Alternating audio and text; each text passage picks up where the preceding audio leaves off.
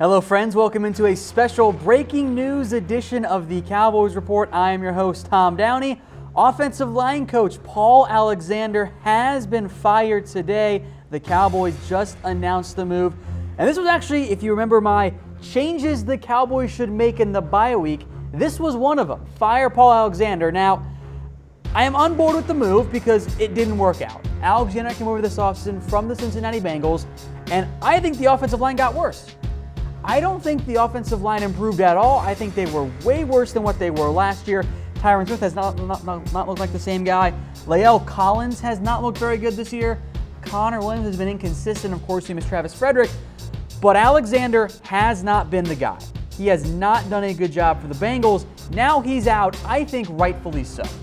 And now, what surprises me, I think, the most about this decision, it is Monday. Why didn't you do this last Monday? I know you were very focused on firing or, or making a trade for Amari Cooper. Why wouldn't you fire Alexander during the bye week? Why kind of more or less cost yourself that extra week of prep time? That's confusing to me, but I guess in the end, let's give the Cowboys some credit here for recognizing that they made a bad hire in Paul Alexander and they fired him before the season totally got out of hand. Now, as for his replacement, it's going to be Marc Colombo, a name I think many of you are familiar with from his time with the Dallas Cowboys as an actual player. He's been the assistant offensive line coach since 2015. That was kind of more of a part-time role, and 2016 he was the full-time assistant offensive line coach. In addition to that, Hudson Houck is going to come back in and serve in an advisory role. And if you remember Hudson, go way, way back to around the Bill Parcells era. He was an offensive line coach before Bill Callahan came in and before they continued to make changes in recent years. So Colombo is your new offensive line coach exactly what I said the Cowboys should do during the bye week. Oh, we'll call it five or so days ago. So I want to know from you guys. Are you glad the Cowboys fired Paul Alexander? Type Y for yes, type N for no. I don't want to really gloat about a man, you know, getting fired, but it's the right decision. So I'm typing in Y for yes, I am. Alexander was not doing a good job for the Cowboys. The offensive line was playing well below expectations, well below their talent level, and at a certain point, the buck does stop with the coaching staff. So Alexander, he is out. Marc Colombo is in. And the offensive line is supposed to be the focal point of this entire Cowboys team. It's not just supposed to be a good unit or an above average unit or a solid unit. It is supposed to be one of, if not the best offensive lines in the NFL. It's supposed to be, at minimum, a top five squad. That has been the case here. Zeke Elliott has not had room to run.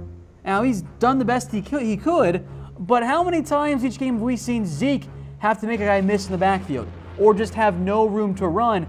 Alexander kind of tweaked some, some techniques with the offensive linemen. I think it's hurt them. In particular, La'el Collins. Now, Tyron does not look right. Hopefully, this gets him back on track.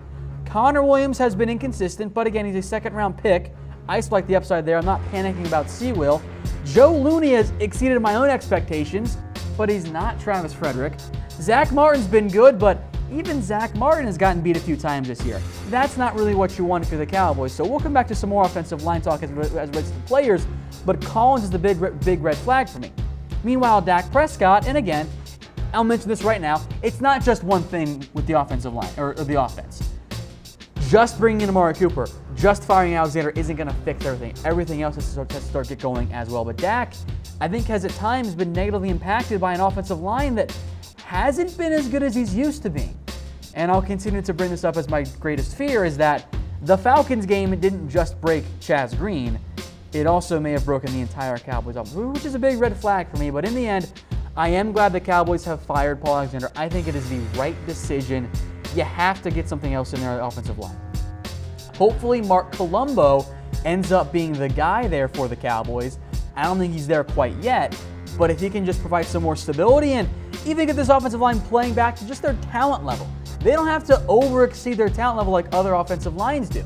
If the Cowboys play as well as we know that they can up front, let's say the Jaguars game, for example, that's going to be a big boost for them for them because they're good enough to I think to pull that off. So Alexander again, if you're just now joining us here on Facebook Live, he has been fired by the Dallas Cowboys. That move came down just minutes ago. He is out after coming over from the Bengals this offseason.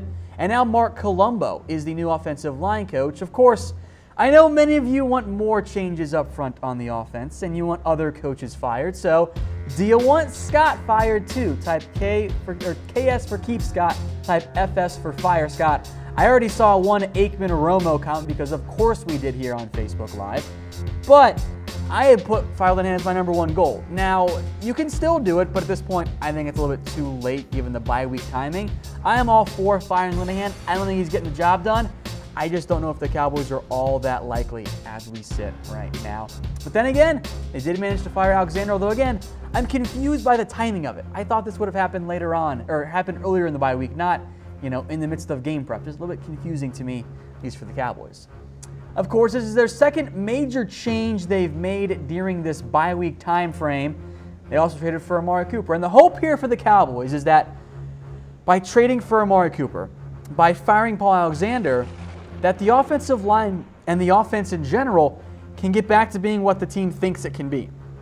They hope that with Cooper in, with Alexander gone, that the offensive line will go from, frankly, being average at best to being back to that elite stature, and you pair that with the Amari Cooper edition, now all of a sudden you're sitting there in great shape with a very talented offensive line and receiving corps that is much better, and the offense gets back to maybe a little bit more like 2016 offense. Now, as for Alexander, I know many of you were kind of perplexed by the hiring at the time because he came over from the Bengals where things had not gone well in his last couple years. In reality, the Bengals and Cowboys more or less traded offensive line coaches the Bengals clearly got the better of that trade. Alexander, of course, is now out. And these are all moves, I think, to say, hey, Jason, you better win this year. Because if you don't win and you don't make the playoffs, probably going to fire you. If that does happen, well, our friends over at BetDSI do have some betting odds on who will be the Cowboys head coach in 2019. The field leads the way at plus 200, which, of course, that always makes sense.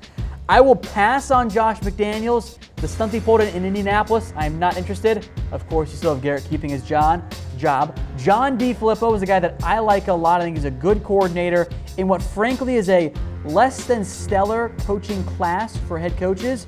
D. Filippo is the top, in my mind, assistant coach. Sean Payton, I know you guys all want him, of course. Maybe if the Saints win the Super Bowl and Brees retires, maybe Payton comes back over to the Cowboys. Have to be a trade, though he is under contract for the next couple years. George Edwards is a promising young defensive mind in Minnesota. Dave Toub has been interviewed multiple times. There's Kris Richard. Everyone seems to like him.